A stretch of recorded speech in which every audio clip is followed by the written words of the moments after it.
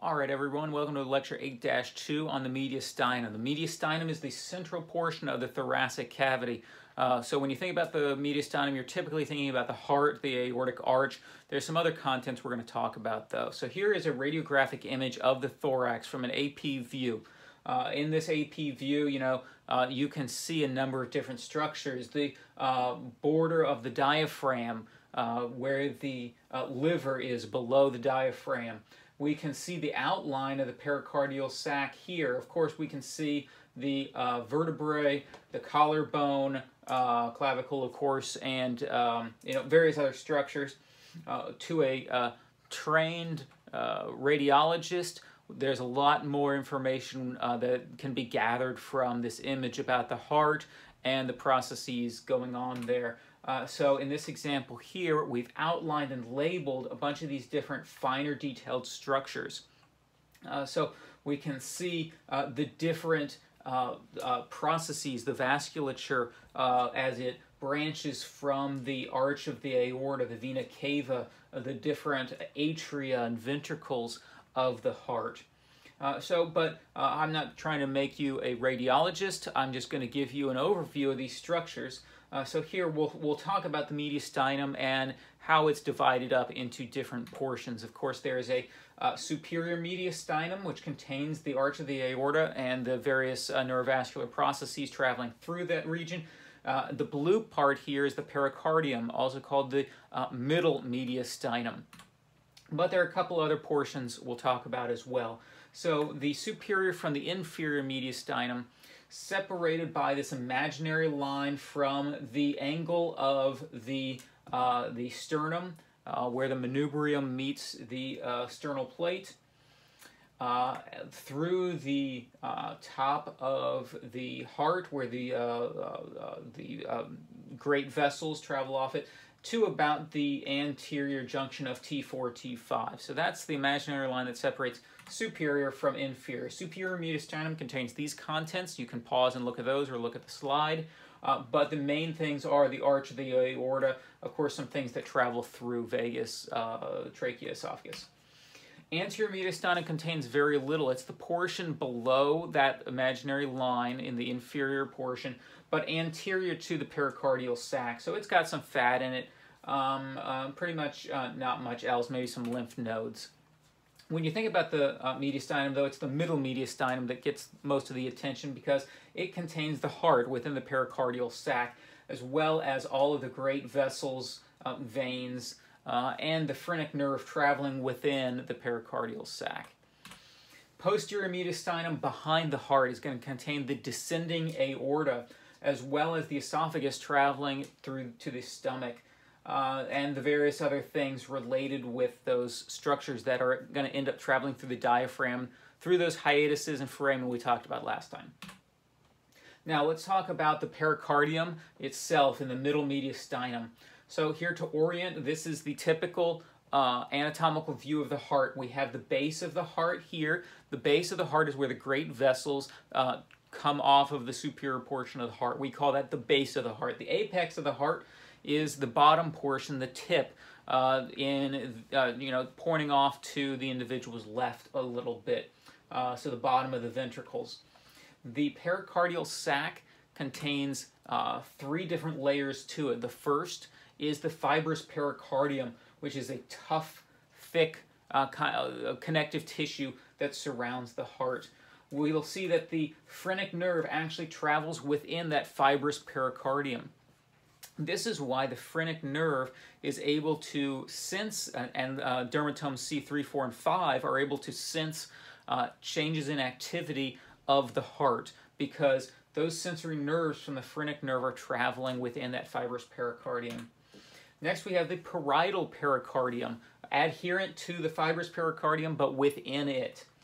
The fibrous pericardium uh, uh, reflects onto the surface of the heart itself, and at that point it's called the visceral pericardium.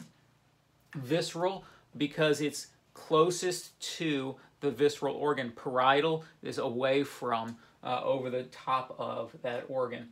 Uh, so between the visceral and parietal pericardium is the pericardial cavity.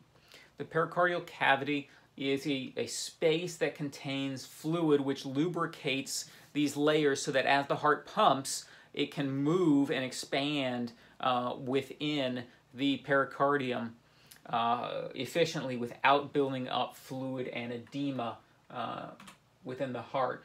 So this pericardial cavity has various clinical conditions associated with it, as you would imagine. If there are connective tissue adhesions between the parietal and visceral pericardium, then that restricts the movement of the heart and makes it more difficult for the heart to pump. Uh, so these adhesions are uh, negative things that are going to increase hypertrophy of the heart, increase blood pressure, those sorts of conditions. Pericarditis, of course, the inflammation uh, in this uh, heart, so it's going to cause a buildup of fluid in the pericardial cavity, relating uh, or um, resulting in compression of the heart via this sort of uh, cardiac tamponade condition. Tamponade being the buildup of fluid in this cavity. Uh, so in order to correct for that buildup of fluid, uh, what has to be performed is a pericardiocentesis in which fluid is drained from that pericardial cavity. So that involves the injection, the uh, insertion of a, a hypodermic needle uh, to uh, draw out that fluid from that sac. Uh, it's usually guided by some sort of imaging, maybe ultrasound or uh, X-ray uh, imaging. so the surface of the heart, now that we've gone through the pericardial sac, traveled through these fibrous connective tissue layers, now we see that the, uh, the visceral uh, pericardium is covering the surface of the heart. So at this point we can't really see much of the uh, heart musculature. but at this point we can see the great vessels coming off of the heart or joining the heart and we can see some of the branching of the coronary arteries uh, that supply the heart. So first, let's talk about the regions of the heart. There are sulci uh, within the surface of the heart that separate the different um, portions, regions of the heart. The coronary sulcus is a sulcus that travels around uh, at the base of the heart circumferentially. Uh, and uh, in so doing, it separates the atria from the ventricles. So this is the coronary sulcus here at the base, near the base.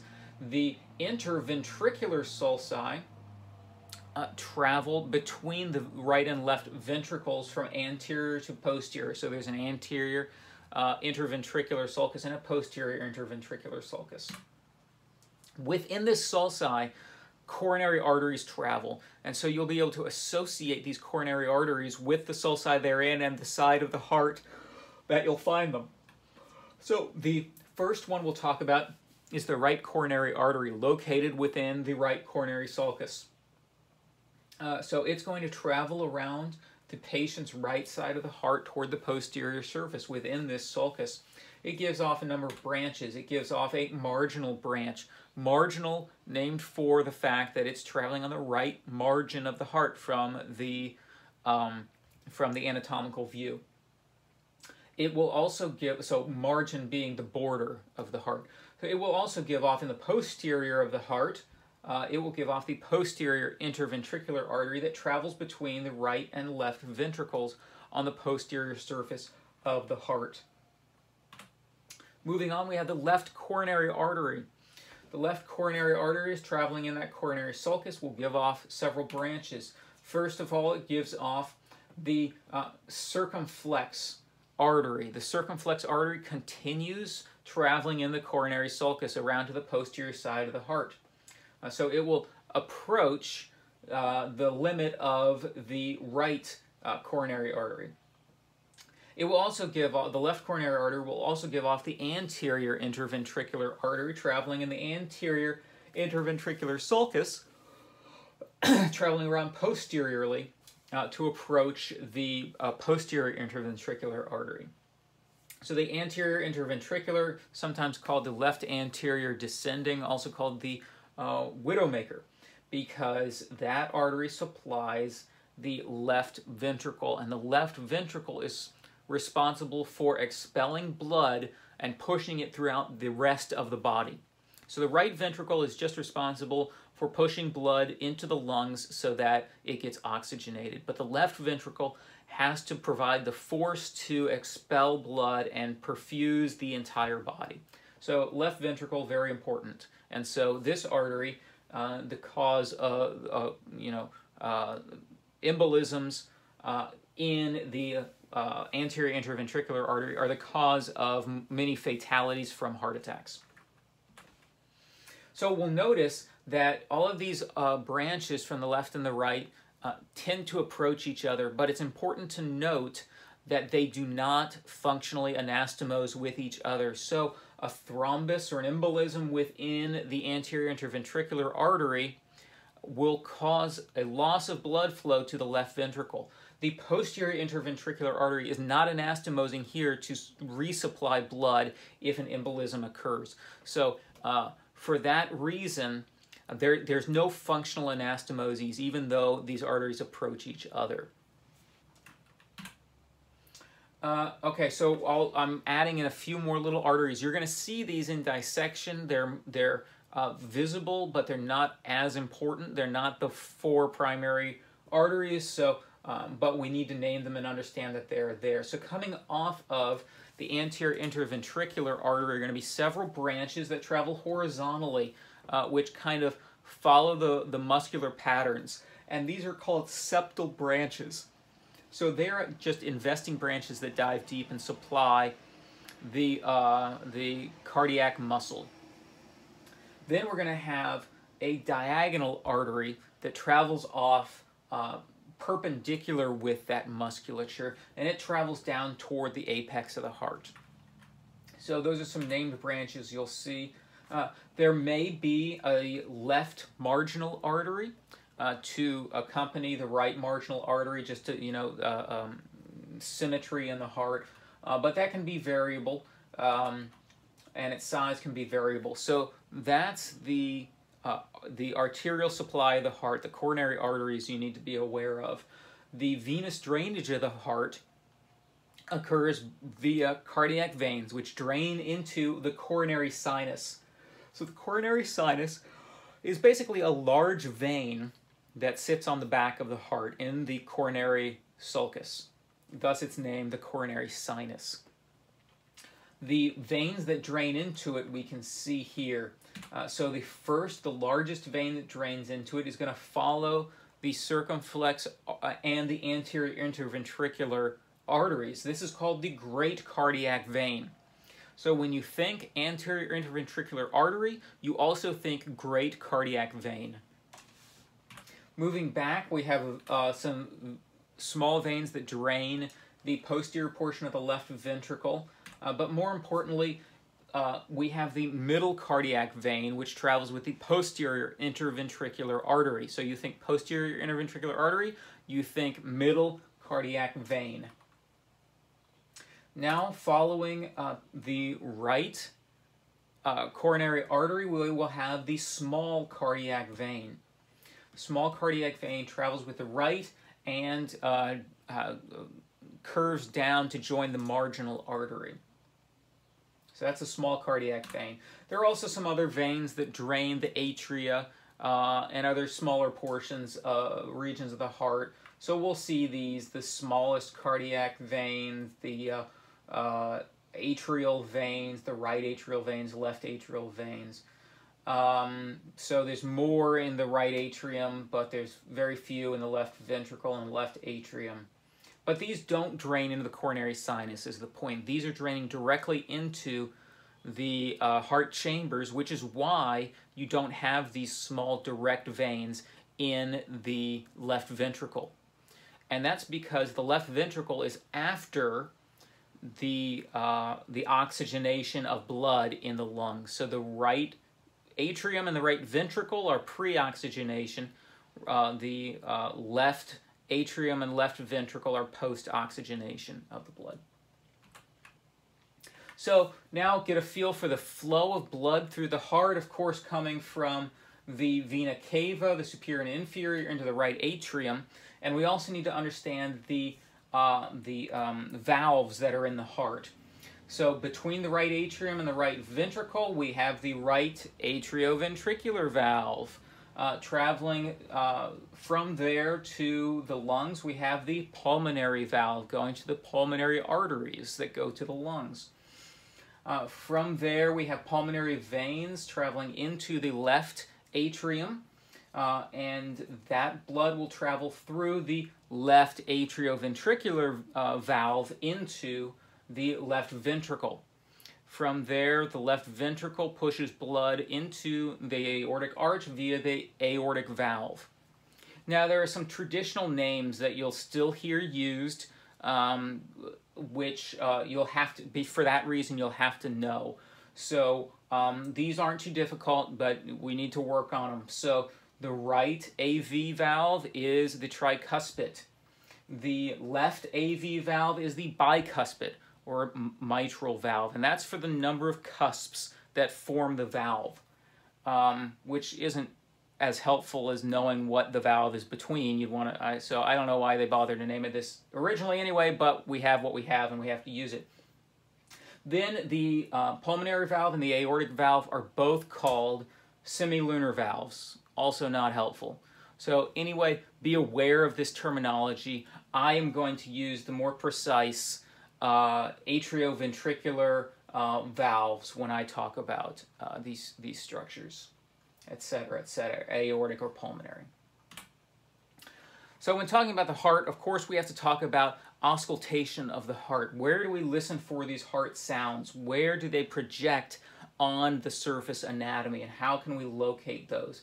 So uh, we see the apex of the heart is in the fifth intercostal space.